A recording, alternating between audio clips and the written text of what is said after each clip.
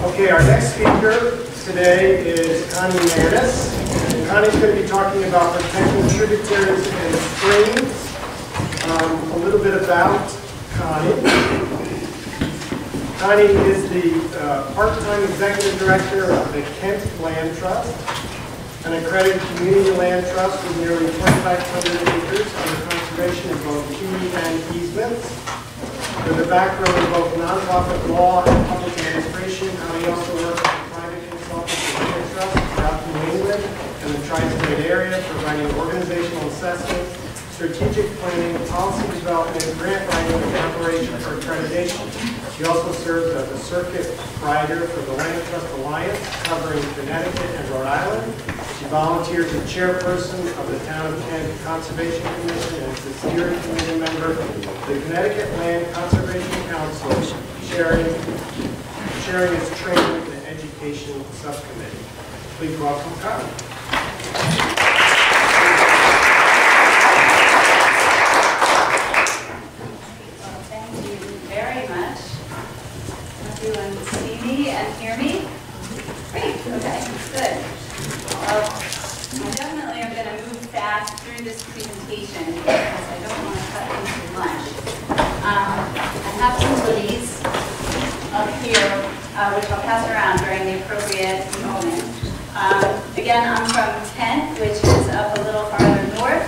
If you, uh, for those of you who haven't been there, it's a small town of about 3,000 people, just less than 50 square miles. And uh, you get there by uh, traveling up Route 22 to Dover and banging a right. Uh, It's a beautiful place. It's, uh, it's right by the County River. Uh, The the Appalachian Trail runs through it. It's uh, about 37% of the land cover is protected, so it's a great place to work. And uh, I've been working with the Kent Land Trust um, as since the fall of 2008. Um, Consider myself lucky. Uh, I live there with my family full-time, and uh, I'm raising three young sons. So after I leave the family, I'll be doing that.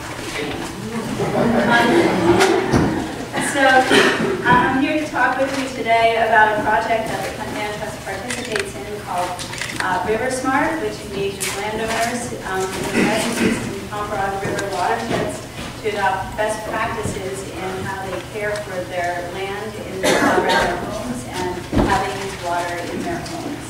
Um, And uh, if I can figure out how to operate this thing. It's the side arrows. This one? Yeah. Here's an overview of what we'll be talking about. Okay? Uh, This is uh, an in- just one discrete project, and it uses a lot of the concepts that was talking about now. So um, the Housatonic Valley Association, which is one of the main partners in the H2H. By the way, um, thanks so much for having me here. I'm a big fan of H2H. I wish it came up just a little bit farther north so we could participate too. Uh, But I get to work with a lot of um, you as partners, as a consultant. So thanks a lot. Uh, HVA's um, mission is to conserve the natural character and environmental health of our communities by restoring and protecting land and water from the Berkshires to the Long Island Sound. Uh, So they kind of have three parts. They're not really a traditional land trust. They have a very strong educational counterpart and also an active um, water protection counterpart in addition to their land protection. So geographically, they cover a large area. They're really regional in scope as opposed to one Connecticut town, which is how it works in most of Connecticut. I think there are upwards of 137 land trusts in Connecticut altogether.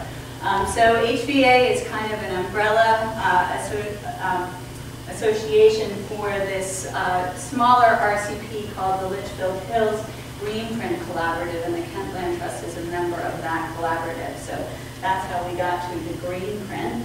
And then from there on, um, the Litchfield Hills Greenprint was looking at these focal landscapes. I know this is a little small, but this is really just overview.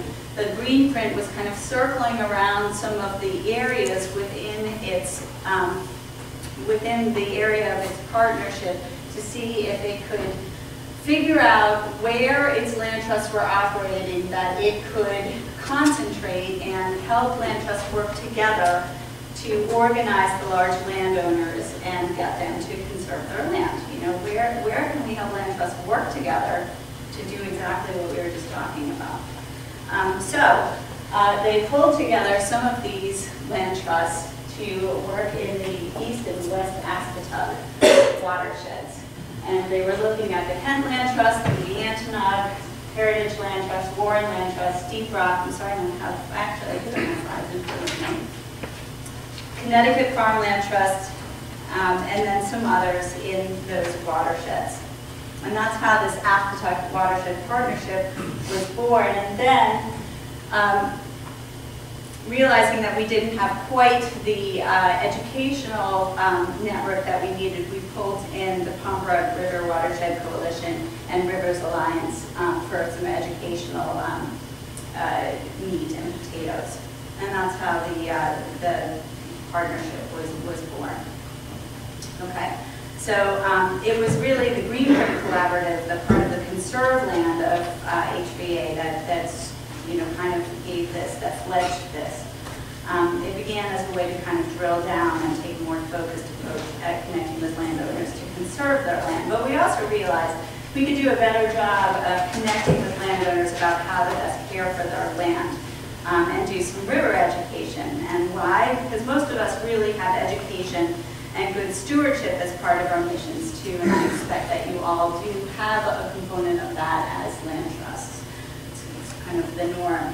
Um, And rivers in the Northeast are becoming progressively more impaired um, because of increased impervious uh, surfaces here uh, in the Northeast in particular. So even though the Clean Water Act of 1972 kind of initially led to some improvement in rivers, um, that's, you know, we've experienced a bit of a decline because of all of the development in the Northeast. And so we decided that some river education might be helpful for our landowners and also be a useful tool to engaging landowners. At least that was the initial thought.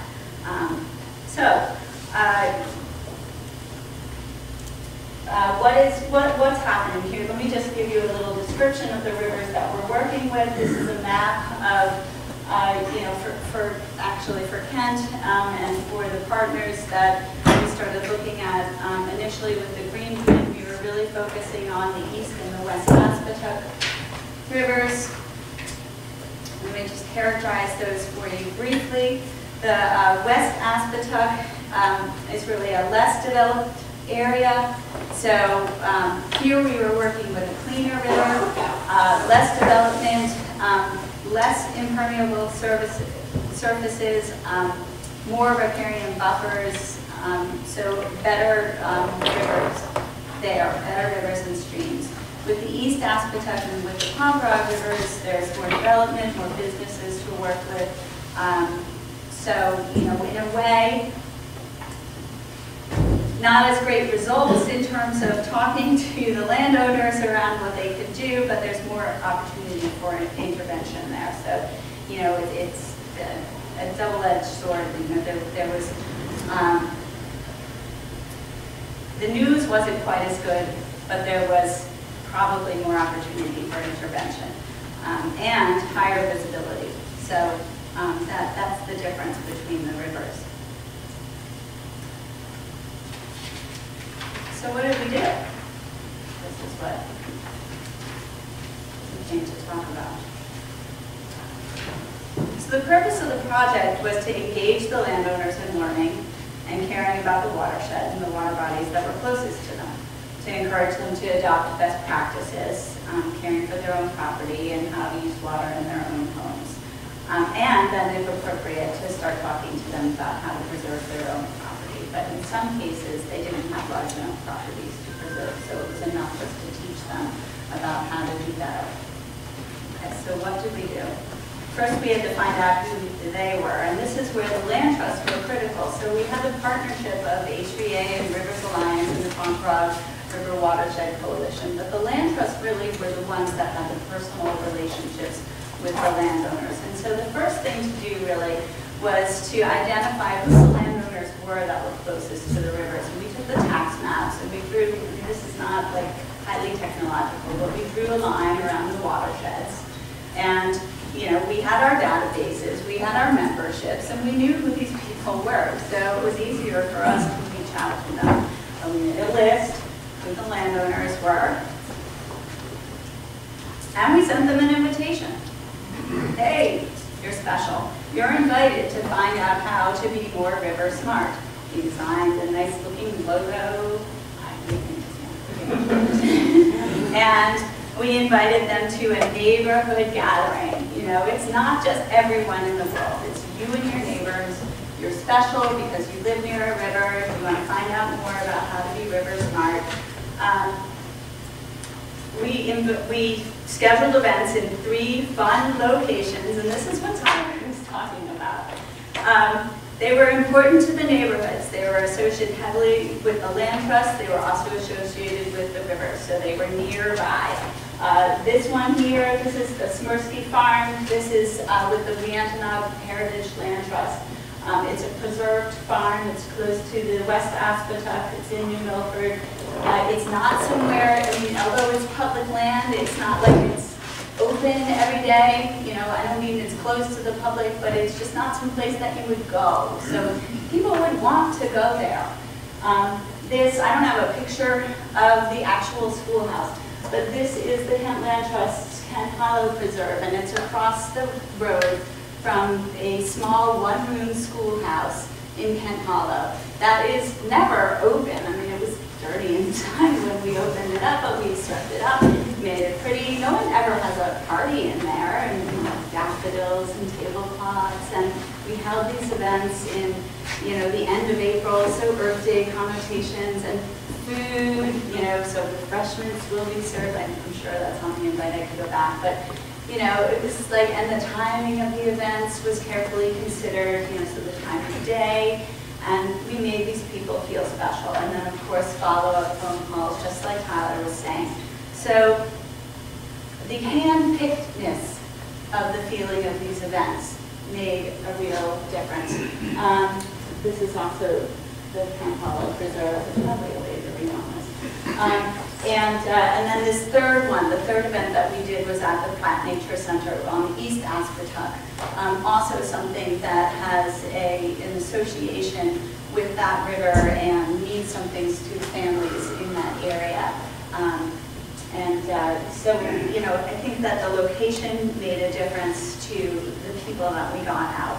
Um, And we developed materials, so then that was the, you know, we scheduled these events, we developed materials, uh, including um, a survey uh, to find out what our guests knew about the watershed. So we wanted some baseline uh, information. We wanted to know what they knew about the watershed, the health of the water courses in the region, modern threats to clean water. We also wanted to engage them, so we wanted to kind of spark their imagination and get them talking. So we didn't want to make it very difficult. Um, but we wanted to kind of bring them in. And then we made this pledge, and we asked them to take the pledge. Um, and I always get this song, Let It, Let It Go, whatever. So forgive me if I do that to you too. But, you know, these are like the basic elements. We encourage them to be lazy. Let it go. Don't, don't intervene as much on your property. Let it grow. Don't cut your lawn so much. Put some buffers, plant your rain gardens, all these things that you all probably know about, but um, I think I printed out copies of the pledge, but I don't know. Um, okay, and let it grow, and then let it flow also. So things, you know, like um, pervious surfaces, uh, rain gardens, swales, and pumping your septic tank regularly. We printed this pledge um, up and encouraged folks to take the pledge and to share it with their friends. So this was a um, social networking type idea. You know, I told five friends and they told five friends and things like that. And people signed up because we had them in a captive audience where all their neighbors were looking. And so there was peer pressure. Um, okay, so, and then we promised them that if they took the pledge, you give them a lawn sign that they could put out on their lawn and then everyone would know that they were River Smart. So, um, and then we asked them to pass that information on. So the follow-up to that event, because we did do follow-up, is we did that at the beginning of the summer and we asked them to try it out and then we would invite them back and see how it went. So we sent them another invitation Pizza.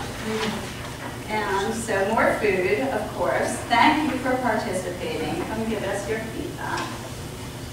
Specialness. And based on their feedback, we created additional materials using our branding, um, the pledge. uh, We, um, we went to places that people were going to be. You know, this is based on our feedback. We, um, we created a postcard, which I'm going to pass around. We put our stuff in the town u- land use offices.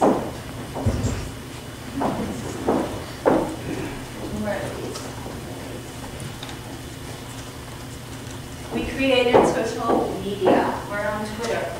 We're on Facebook. We get, we went to the farmers market and other outdoor festivals.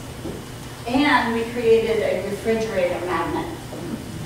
So you can remind yourself of your pledge and check off the things that you're doing. And this is the coolest. I'm gonna pass this around. This is mine. Okay, so, that's the magnet. But what did we learn? All right, what did people know? They know, um, this is what we learned from the survey. They really care about clean water. They know that trash is a problem, fertilizer is a problem. What they don't know, they're really not clear on what happens to storm water when it falls on the ground. They think that maybe the storm drain just goes to a processing plant. They don't really know that it goes to the nearest river. Um, They uh, don't know, um, they don't know a lot about the other things, like how often they should have their septic system pumped, or how often they should have it inspected. They, you know, they- they're really unclear on things like that, just like I don't know. Um, They're not sure about whether their small changes would make a difference, but they're willing to try. Um, But they told us that one-on-one is the best message delivery, and they really wanted to do more neighborhood gatherings. They really enjoyed that, and they asked us to do a block party all the time, and not to overwhelm them with the pledge. They said, keep it simple. Although the pledge items seemed easy, it ended up not being as easy as it seemed, and they need more information and more interaction all the time. And we went like, wow, we're poor people, we can do that. Um, So ultimately, we were the most effective when we were talking to people about things that were really familiar to them. And so this kind of gets back to the point that we can't have too big of a group. That people really need to feel like it's relevant to them, that you're talking to them about their backyard. Um, And that's hard to do because, know, the smaller it is, the more resources it takes. Um, And you need to bring it back to what speaks to that. And so, you know, this is kind of a number. We went on social media and, Yes. you know, we folks wanted to talk about products, you know, like what shampoos are best and you know, what laundry should I use? And that's not relevant to each and every person, but that's what really resonates. And so, um, um, that's really how we got to this idea of going to the festivals and going to the town land use offices and trying to make an impact, you know, by meeting people where they went. Like that's how we felt we could be the most efficient with the limited resources that we had. But we haven't quite hit the sweet spot, um, we thought. Uh, you know, one of the things, um, I wanted to mention that we did in terms of engagement, know, was relevant with the landowner. Um, I'm is kind out of context, but I just mentioned it as an is that we always had a map of our neighborhood gatherings where people could come in and a thumbs where they live. And that um, helped them feel at home, but also help them engage with all of the other people who were there. And that works really well, no matter what you're doing, the watershed engagement or, you know, any gathering that you have. Um, And that helps people start to know each other. And I, I still think that one of the ways that we're going to be more effective, effective is mobilizing the people who are loose to go back out. I just don't know how we're going to do that. So, uh, we think that we've done a pretty good job, um, but it's taken a long time. And to me, the social media thing um, seems pretty big and unfocused. Um, And, you know, I put down there, any measure of success, like, are we winning? You know, people want to know, like, are you having an impact? So, um, so further directions, what are we doing in 2015? Um, With our 2015 grant money, and it's not a lot, and that- you know, that's another thing too, is that when you come to a university, you can really start to think about what people change. I do a lot of thinking about that, what makes anyone do anything. Uh, Incentives, game theory, um, largesse, you know, the feel-good component of this, competition with your neighbor, keeping up with the Joneses. Um, You know, what we're going to do is we're going to continue to build on our strengths. We really good branding, we're encouraging people to join us We're really open to, you know, steal this movie, steal this sign, steal our pledge, join us in this effort that River Smart is not trademarked. In fact, we stole it. So.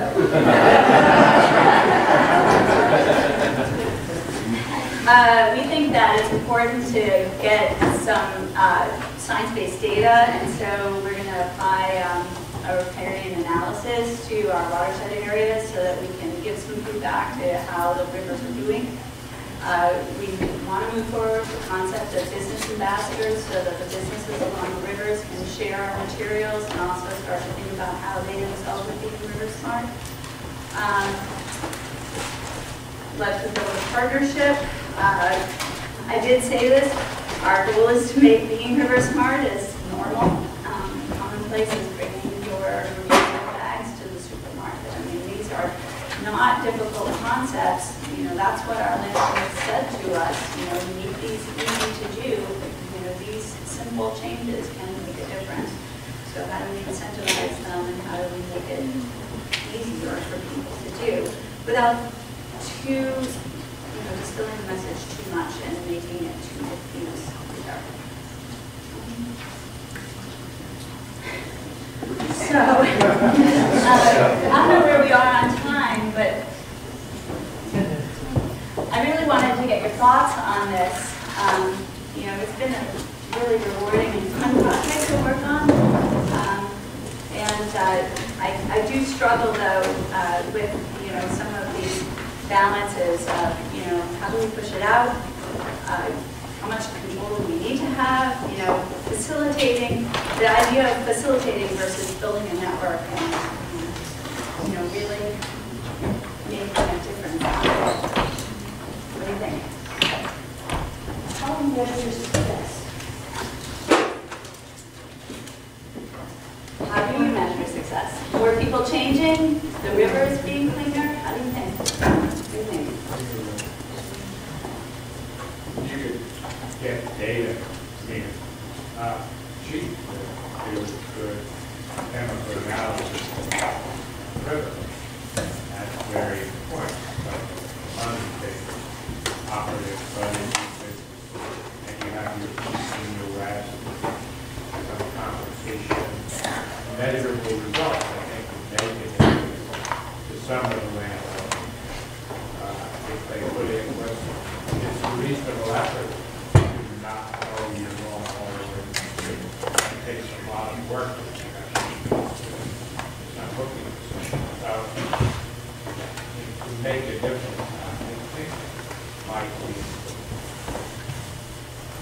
So some people might care and might be willing to put more towards it if they actually knew that going to clean. yeah. I think you should bring into the, into the kids In Norfolk, we have a, a River Rangers program that's in- into the schools. Schools go out, check the water content, the cleanse of the water, the area surrounding the water, and it builds into their, their- as again, it it keeps them part of the common sense approach to keeping water clean. And uh, is it successful? Well, as much as it can be. But again, if you bring it into the, into their, that sweet spot of a home run, for the little ones, will carry them into their adulthood as well. You Get one or two of them, Yeah, we do macroinvertebrates with the Conservation Commission in Yeah. town, and uh, a little bit of fun with that, yeah. Microinvertebrates is good, but that's tangible to everyone around it, that's part of it.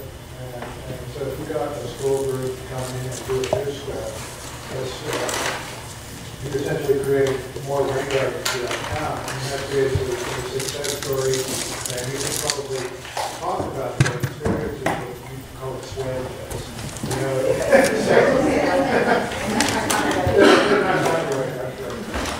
And, uh, and you can talk about the experience with, you know, pieces of it, but it becomes a way of creating an ongoing story.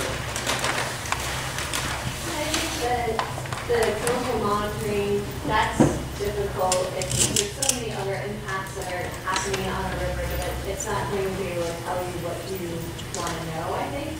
But you have the pledge, so trying to drill down to the people that are pledge and seeing what behaviors are changing, I think is probably a more realistic measure of success than monitoring, which, you know, you could have one big bad rainstorm above, you know, further up the watershed that's gonna screw you if that's the way that you're gonna measure your success.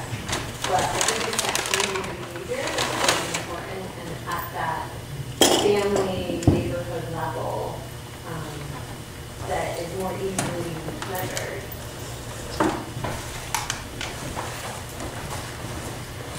I actually think that in order to make it visual and people see it, you have to say, here's a map, here are all the landowners that have done something, here's how it fit into the watershed. Here's how it could have impacted, you know exactly what the direct impact is, but you have a physical way of showing people what, how many people have been involved in you do that, um, I mean, you do that, um, you're saying that that would be an incentive? So you would do that incentive to the on the people, the website? neighbors of the people who are in the program and say, well, look, here's a gap here. You haven't done anything, we can get you involved in this program. We have all this area along this river that's actually involved in this program. You would do that both as a success measure and an incentive for further? I think so, because it's very hard to know what, if people are involved, exactly how that's going to impact the river. You're just never going to be able to quantify that without, you, at least you could say that all the people are involved in the program, then you- you assume since they're, they're involved in the program and they're doing the things you want, that that's a positive step and the river's going to be in better shape. When you can actually quantify that on a a bigger river like that is pretty difficult to say. I mean, over time, it might possibly, but it would take a long time to see that. Just- I think it's just physically, if we're targeting landowners, and we're targeting and saying, we want you to be involved in this program, you're H2H in this program, climate resiliency and watershed protection, then we want to, we want to put those people on a map, the people that have actually become involved in one way or another, and show people and use that as an incentive for other people to get involved. So the other thing that was kind of striking me as I was coming down here is that, you know, many of the areas down here are a little bit more built. And so, you know, in the Pomperaug, in the, in like Woodbury, Southbury area, um, the model is a little bit different. Instead of doing the neighborhood gatherings, uh, um, they organized events like in stores, so there's, there's this store called The Morning, it's a store, it's very, you know, well-known, and so, you know, they'll do presentations there about Reiki or, you know, whatever it is that folks are interested in, so, um, so, you know, the touch was a little bit different, you know, it's, it was like more of a general outreach, you know, and, and if you're interested in this, come. You know, and so I'm just wondering, like, how that, how, that was successful, but it was also, it relied more on the reputation of the Pomperaug Watershed Coalition. And I'm just wondering if, you know, I mean, it, it seemed to be successful, but how does that change your opinion of the outreach? And would that change the model for any of you down here? Um, And how does that impact what we do in terms of our planned activities for next year? I mean, are we going in the right direction still? Do we need to pull this back and do more neighborhood, or should we continue on the social media? What do you think? So just a thought, um, what, what you just talked about with the ride, my guess is you're getting people who know about them anyway, and anything they have will probably show up, and you're not getting people who don't know about you, don't know what you're doing. And so you've got to think through who you really, to reach out beyond the regular flyer, so to speak. Um, and I say the same thing about your postcard, is that if I look at this and I say, who's their audience, I would say people who think they're environmentalists is your audience here. Just look at this postcard. Is right? that good or bad? Like, how does that relate to what Bill said at the end of? So um, the question is, yeah, so if you really have um, a large audience that you're drawing from, so your low hanging fruit would be people who think they're environmentalists, so which case this is fine. But if you think those folks are already pretty much kind of in line with doing this kind of stuff anyway, and you try to get people who don't think they're environmentalists, then they're not gonna see themselves in this right away. So it really depends on where you think you are with the, the sort of population in the area that you're concerned about in terms of your conservation. goals. That's really helpful. I'm about that the whole way home I have two thoughts, um, popped into my head. I, one was that it, it seems that people were concerned about their health, you know, personal health, water.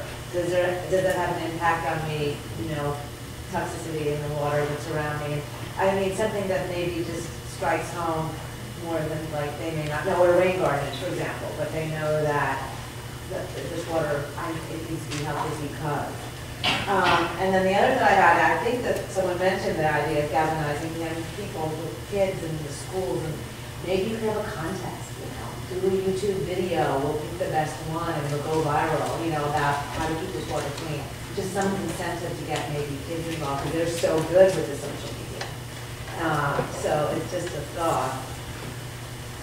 You know, that would be maybe going through the school, the school network. Uh, how many, how many sponsors have we got? I think we're about, about it. Okay, so take one more? Yeah. Yeah, I was one of the school kids. I teach this stuff every day. And one of the things we do, we do a frog watch as well. And you'd be amazed as you go north to south in Connecticut, the amount of frogs disappear in the rivers. And that gets the kids speaking, and part of the assignment is talk to your parents at night about your assignment today. We do a, a, a chemical study of water. We do a, a uh, macro, macrovertebrates, it's fine, but, you know, it's, it's not that big a deal. But when you talk about the storm, being a storm, how that changed? Where's that stuff coming from? Makes you wonder, what, what, you're, everyone goes downstream eventually. And it's coming downstream from someplace upstream, where and why? How's it getting down here? What's happening? And we have, right where I'm involved with watershed, we have a clearinghouse for this information.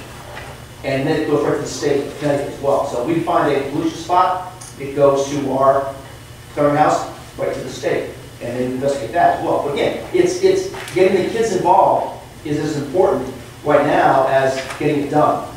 Because eventually they're gonna be in charge. Scary, I love it. Um, Thank you so much for your feedback.